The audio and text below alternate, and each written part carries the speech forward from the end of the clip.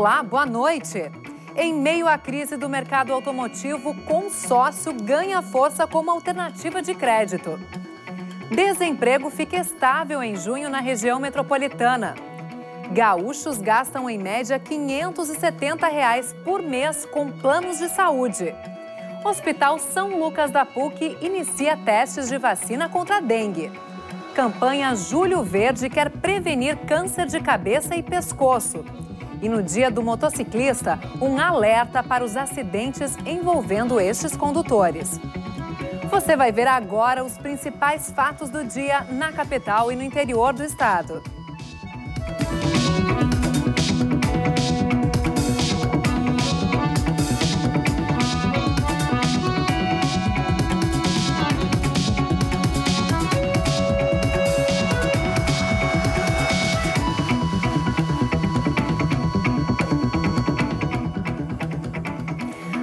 Época de escalada de juros, o consórcio ressurgiu como alternativa de crédito em um segmento que está amargando os efeitos da crise.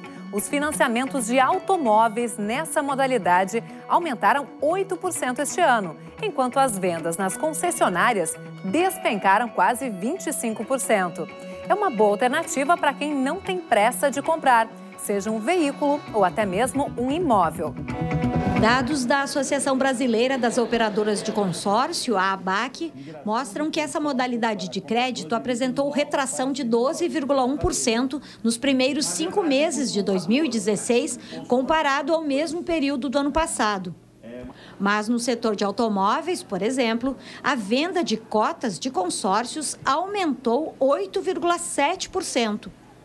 Ainda que o valor contratado tenha reduzido, o presidente da ABAC Sul diz que essa é uma boa modalidade de crédito para quem não tem pressa na compra. Você vai pagando prestações mensais, você pode fazer opções de tem de 30 meses, 24 meses, 60 meses, até 90 meses para se fazer é, as prestações. E aí você é, pode ser contemplado nesse período todo. Aí. Então, é, e quem tiver muita pressa também tem o aditivo do lance, né? Você pode também ofertar um lance onde você tem uma grande possibilidade também de retirar esse bem antecipado, né? Cleide comprou o apartamento e os dois carros da família através de consórcio. Um dos consórcios ela ainda está pagando e pretende usar na próxima troca de carro. Consórcio, tu não pode ter pressa, né? Tu entrou, vai pagando, é, é, é que nem assim, tu, tu vai pagando cada mês tu paga um pedacinho do carro. Um mês tu paga um pneu, outro mês tu paga a, a calota, e assim tu vai indo. E quando tu vê, tu é contemplado, tu tem o crédito atualizado e vai na loja e compra o teu carro. Mas se o consumidor dispõe de 60% do valor do carro para dar de entrada, vale a pena financiar direto com a revenda. Tem realmente um outro carro para dar na troca e tem aí mais de 65% para dar de entrada, vale muito mais a pena uh, pegar um plano aí de média de 24 meses, que é o plano com taxa subsidiada, taxa zero. Aí vai, é muito mais importante, muito mais interessante fazer isso, né? No caso do financiamento com a concessionária, a taxa de cadastro e o IOF já são calculados no valor final da prestação. A política de juro zero é válida para parcelamento do saldo em no máximo 24 vezes. No caso dos consórcios, também não há juros. A correção das parcelas acontece de acordo com a variação do valor do bem a ser adquirido. Justiça manda para júri popular quatro réus do processo criminal da Boate Kiss. O incêndio que matou 242 pessoas ocorreu há três anos e meio. Os réus são os sócios da Kiss, Elisandro Spore e Mauro Hoffman, o músico do grupo Gurizada Fandangueira, Marcelo de Jesus dos Santos e o produtor de palco da banda, Luciano Leão. Eles vão responder por homicídio com dolo eventual, quando se assume o risco de matar, e duplamente qualificado, por asfixia, fogo e motivo torpe. Ainda não há data para o julgamento. E a taxa de desemprego na região metropolitana de Porto Alegre fechou junho praticamente estável, em 10,3%. Conforme a Fundação de Economia e Estatística, 13 mil postos de trabalho foram fechados no mês passado. No mesmo período, 12 mil pessoas deixaram de procurar uma vaga formal, o que resultou num pequeno acréscimo de mil novos desempregados. Na difícil engrenagem do emprego desta oficina mecânica, foi preciso descartar peças por causa da crise. O último funcionário demitido tinha mais de cinco anos de casa, mas não resistiu à falta de serviço. A nossa filial no ramo da chapeação, que é o ramo mais atingido de, de lataria, né? É, a gente tinha três, no caso, do, do, da mesma função, né? Então, como a queda foi radical, assim, a gente teve já que dispensar um. A oficina presta serviço para várias revendas de carros usados. Ou seja, a falta de procura aqui significa que outro setor importante da economia também está parado aquela empresa que mandava 60 veículos assim é, ao mês está mandando assim ó 5, 8. Segundo a pesquisa do emprego e desemprego, 3 mil vagas foram fechadas no setor de reparação de veículos em junho. Queda maior ainda teve a indústria, 5 mil vagas a menos. Apenas o setor de serviços conseguiu contratar trabalhadores. 196 mil pessoas estão desempregadas em Porto Alegre e região metropolitana. O índice, que foi de 5,7% em junho de 2014, passou para 8,5% em junho do ano passado. E, seguindo a tendência dos últimos meses, fechou acima de 10% este ano. Na comparação com maio, o índice de desemprego na região metropolitana de Porto Alegre pode ser considerado estável. Ficou em 10,3%. Mas não é porque tem menos gente sendo demitida ou mais gente sendo contratada. Na verdade, tem menos gente procurando emprego. Se não houvesse essa redução da saída de pessoas no mercado de trabalho, nós teríamos então um crescimento na taxa de desemprego nesse período. Além disso, aumentou o número de trabalhadores autônomos. São 23 mil pessoas a mais se virando por conta própria. E atenção, quem perdeu a carteira de trabalho. Todos os meses, milhares de documentos são cadastrados no arquivo de achados e perdidos da Superintendência Regional do Trabalho. As carteiras ficam à disposição para serem retiradas, mas a procura é muito baixa. Uma sala inteira de arquivos com a história dos empregos de 80 mil trabalhadores. São carteiras que foram roubadas ou perdidas. Quem encontrou devolveu em uma agência dos Correios ou diretamente na Superintendência do Trabalho e Emprego do Estado. Só nos últimos seis meses foram cadastradas 6 mil carteiras recuperadas. Mas a procura por elas não chega a 50 por mês e justamente de um documento essencial para cruzar dados e comprovar vínculos no caso da busca de benefícios junto à Previdência Social. Aposentadoria, seguro-desemprego, né? algum auxílio-doença. Né? Quando a empresa, o empregador acabou não prestando essa informação, vai constar só na carteira de trabalho. Isso que a gente arquiva só as carteiras com contratos de trabalho. As que não têm contrato de trabalho, a gente acaba tendo que eliminar, né? porque não teria espaço físico para tanto documento. Né? O trabalhador pode consultar se a carteira perdida está na Superintendência do Trabalho de Porto Alegre no site do Ministério do Trabalho e Emprego, no link Carteiras Recuperadas, pelo nome ou pelo número do PIS. Ou pode ir direto à Superintendência, na Avenida Mauá, 1013, de segunda a quinta-feira, das 8h30 da manhã às 4 horas da tarde. Ventania provoca falta de luz no estado. Cerca de 8 mil clientes da CE ainda estão sem energia. A região mais afetada é o litoral norte. Em Porto Alegre, nesta madrugada, as rajadas de vento chegaram a 80 km por hora. Uma árvore caiu sobre a rede elétrica na esquina das ruas Mariante e Vasco da Gama. A via chegou a ficar bloqueada, mas o trânsito já está liberado. As temperaturas voltam a cair na região leste nesta quinta-feira. Em Porto Alegre, o dia vai ter sol com geada ao amanhecer, mínima de 4 graus. Mesma situação em Novo Hamburgo, onde a máxima chega aos 15 graus. No litoral norte, dia de sol com algumas nuvens, mínima de 7 graus em Tramandaí. E ainda nesta edição, um alerta para o alto índice de acidentes com motociclistas. E depois do intervalo, o Hospital São Lucas da PUC inicia testes da vacina contra a dengue. A gente volta já.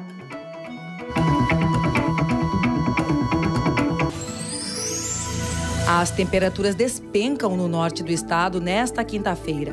Na Serra, dia de sol com geada ao amanhecer, mínima de 3 graus em Caxias do Sul. Situação semelhante na região do Planalto. Em Passo Fundo, mínima de 2 graus. No noroeste, geada nas primeiras horas do dia. O sol aparece no decorrer do período, mínima de 3 graus em Ijuí. Combate ao furto de animais. O abigeato foi o foco da Operação Origami, desencadeada pela Polícia Civil em propriedades rurais de cinco municípios gaúchos da fronteira oeste: Jaguari, São Nicolau, Pirapó, Garruchos e Quaraí. 11 suspeitos foram presos. As investigações começaram em junho, após denúncias sobre o furto de 44 bois em uma propriedade. A polícia também apreendeu armas e carne ilegal.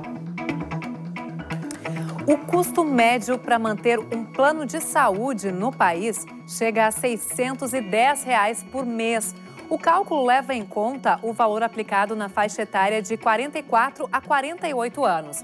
Varia de acordo com o tipo de atendimento, se apenas ambulatorial ou hospitalar, e também de acordo com o modelo de contratação, que pode ser individual ou familiar. Rio Grande do Sul, o custo mensal de um plano de saúde individual privado com cobertura ambulatorial e hospitalar é de 570 reais, de acordo com o levantamento nacional da ANS, a agência pública que regula o setor. O valor, principalmente em época de recessão, é alto. As operadoras temem perder mais clientes, mas como a maioria dos seus contratados são pessoas jurídicas, é possível equilibrar o faturamento. Tivemos de 2014 até agora uma perda significativa, um milhão e 400 mil vidas saíram do sistema. Né? Foi perdido em termos de retração do mercado econômico, nós conseguimos reconquistar em cima de novas vendas. Ruim mesmo está na outra ponta. Quem perdeu o emprego ou está com o salário defasado incha ainda mais o atendimento do Sistema Único de Saúde. Os postos de, de, de, de vacina de vez em quando também, posto de saúde, qualquer coisa do tipo. A abertura de micro e pequenos empreendimentos tem sido a saída para muitas famílias fugirem do desemprego. Mas não é só por uma questão de trabalho. O pagamento de um plano de saúde fica mais em conta quando se tem uma empresa registrada, explica esse consultor. Com custo diferenciado do que faria um plano familiar ou até mesmo um plano individual. Normalmente isso vai ter uma economia aí de uma família que tem um, que, de quatro pessoas e que venha fazer isso pelo CNPJ, desde que ela tenha, obviamente, regularizado e dentro das normas da ANS, uh, vai ter um diferencial de 30% a 40% no valor. Ter ou não ter um plano de saúde privado é uma preocupação que dura a vida toda, mesmo quando não deveria mais ser um dilema. É muito caro, né? E agora? Agora não deu. Agora eu estou indo no SUS. Até já me operei, fui bem. Mas é bom lembrar que no Brasil, pelo Estatuto do Idoso, as operadoras não podem aumentar os planos de consumidores com 60 anos ou mais por causa de mudança da faixa etária. Com 60 anos ou mais, né, não pode haver esse tipo de reajuste. E o reajuste né, aplicado pela ANS deste ano de 2016 uh, foi até 13,57%. Então, até esse valor, todo mundo tem que tomar um certo cuidado, analisar os seus boletos, os seus uh, valores contratuais, para realmente analisar se houve ou não algum valor abusivo em cima da sua mensalidade. No estado, atuam 92 operadoras de saúde suplementar, que atendem 2 milhões e 600 mil pessoas.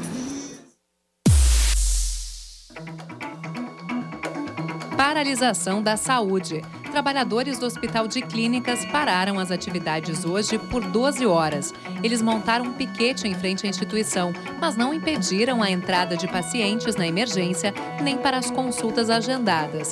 Amanhã é a vez dos profissionais do Hospital Cristo Redentor cruzarem os braços.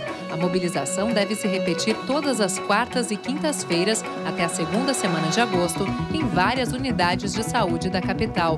As entidades que representam a categoria pedem reajuste reajuste salarial de 15% e melhorias nas condições de trabalho. E o Hospital São Lucas da PUC iniciou hoje testes para avaliar a eficácia da vacina contra a dengue. Ela foi desenvolvida numa parceria entre o Instituto Nacional de Saúde dos Estados Unidos e o Instituto Butantan de São Paulo.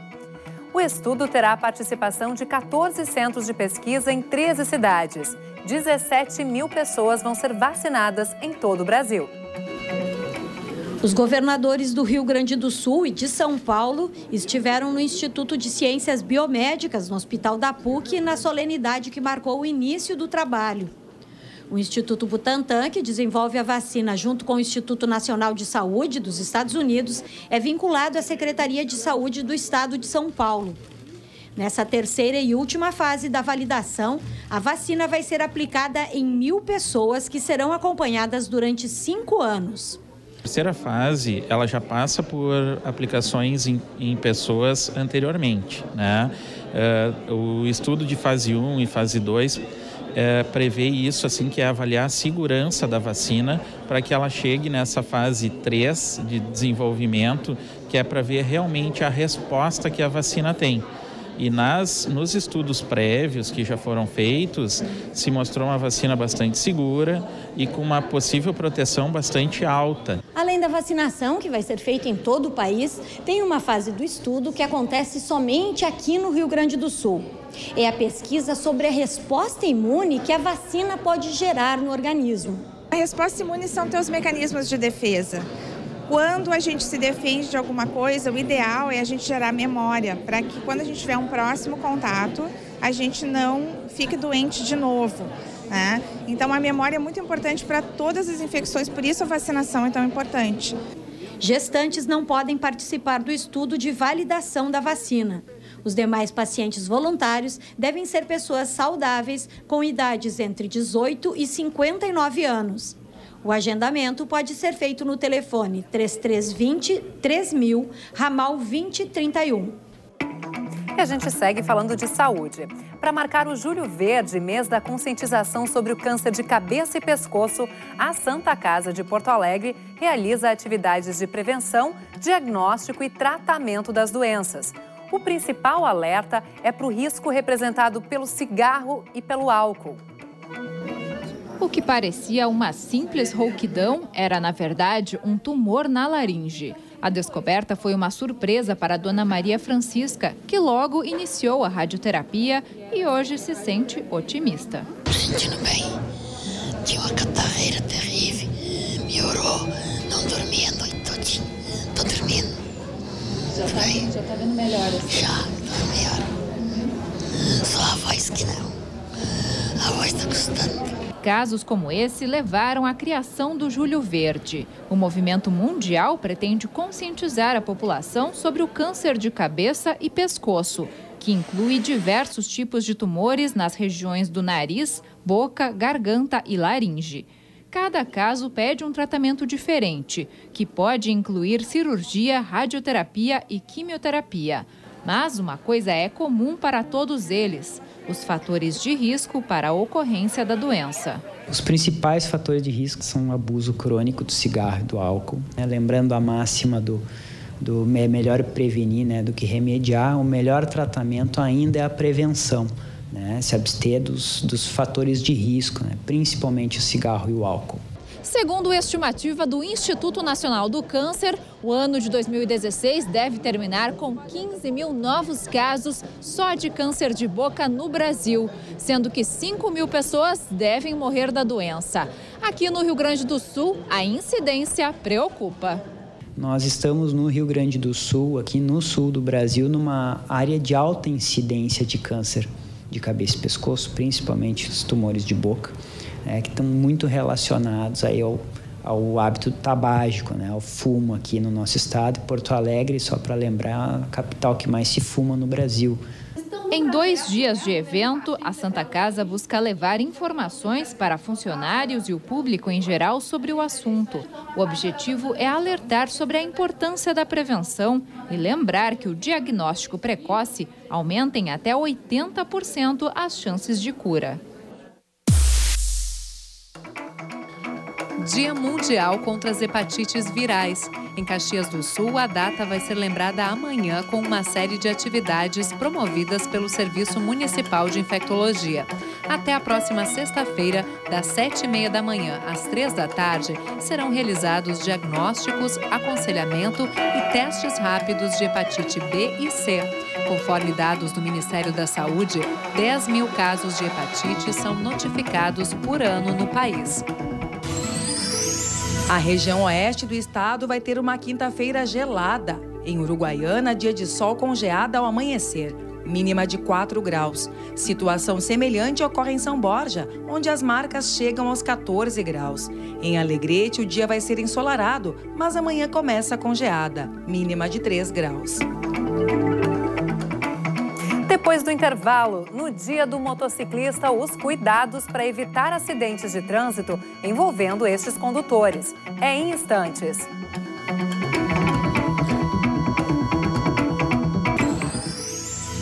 O tempo volta a ficar firme na região central do estado nesta quinta-feira. Em Santa Cruz do Sul, dia de sol com aumento de nuvens, mínima de 5 graus. Em Santa Maria, a geada deixa as temperaturas mais baixas, mínima de 4 graus. Em Cachoeira do Sul, dia de sol com aumento de nebulosidade. A umidade do ar chega aos 94%, mas não chove. Máxima de 17 graus. Lançada a programação do Porto Alegre em Cena. De 13 a 26 de setembro, a 23ª edição do evento terá mais de 35 espetáculos de teatro, dança e música em 13 espaços da capital.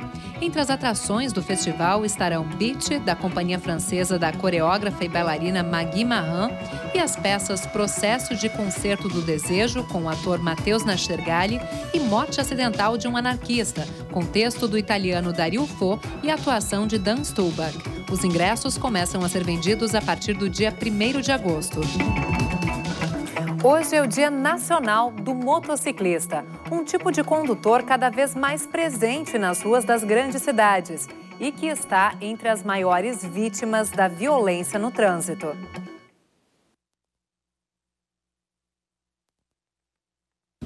Tem os motociclistas profissionais, como o João e os colegas dele, que passam o dia na rua fazendo entregas como motoboys. É o dia inteiro correndo para lá e para cá, vai num lugar, vai no outro, correria total. Já o Valdone abandonou o ônibus e há 12 anos usa a moto como meio de transporte. E para isso, muda até a vestimenta. Tem que ter uma capa uh, de proteção térmica, né? Além de tem que ter um capacete, tem que ter todo esse equipamento de segurança, né? Como é que tá a segurança para quem transita de moto? É só ter atenção. Eu acho que é um meio de transporte que ele é seguro para quem tem atenção. Para quem não tem atenção, ele se torna um, uma arma, né?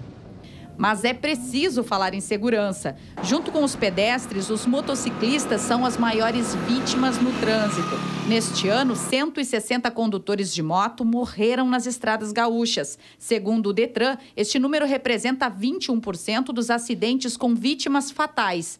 Só em Porto Alegre foram 10 motociclistas mortos até maio deste ano. Na capital, estes números vêm caindo nos últimos três anos.